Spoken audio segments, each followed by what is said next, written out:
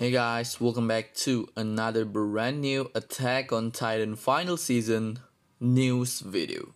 Today, I just got another news from the famous leaker Spytrue on Twitter. You guys can find his account um, link going to be in description so you guys can check him out and follow him for more anime leaks. Um, without further ado, let's go and get straight right into the video. So, um, Spy Spytrue recently tweeted about Attack on Titan final season new poster that I'm going to show right now.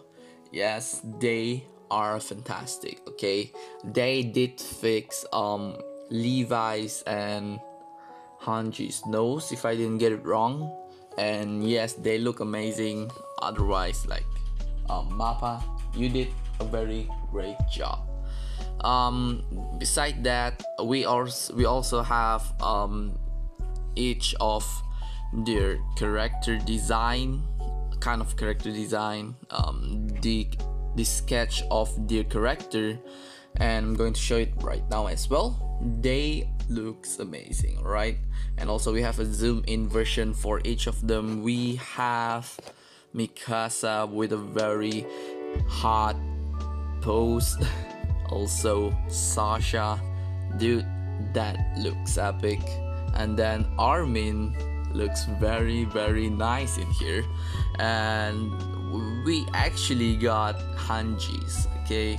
Thank you very much Mappa for providing this this type of thing okay? Like they actually um showcase them on the mappa showcase on 28th of november where they showcase their um, anime stuff um on the Mappa showcase. So yeah, we also recently have Reiner Braun, and this isn't from Spytrue actually. I've actually found um this picture from the comment section of Spytrue um tweet like they say hey Spytrue you missed this one and then yeah I actually found this on Spytrue's um comment section and yeah that's basically it for this um, for today Attack on Titan's final season news. I really hope there's more because I will make another one um, if there's more.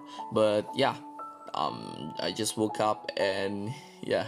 I got the news. So, yes, guys, thank you very much for watching this video. If you guys want more Attack on Titan news leak, don't forget to subscribe and turn on notification bell because I'm going to get straight into the leak whenever Spytrue's um, posted um, any leaks for Attack on Titan and probably other anime as well.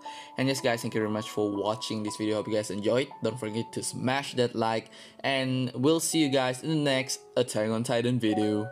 Goodbye.